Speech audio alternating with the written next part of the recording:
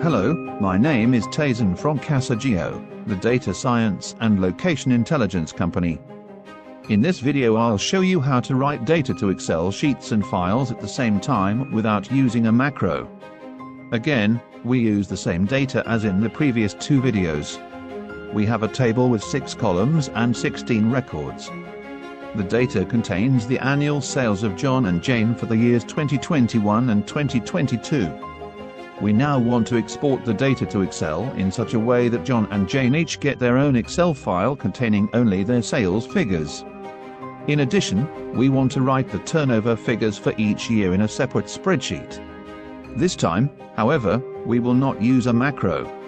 For this we only need the formula and the output tool. We edit the formula tool and create a new variable as a string, which we call output path.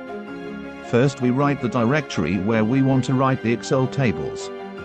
Then we add the variable for the file name. In our case the variable sales employee, and add the file extension.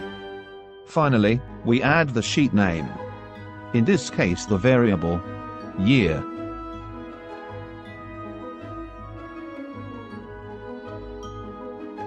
Now we have to edit the output tool. We create an output for an Excel file.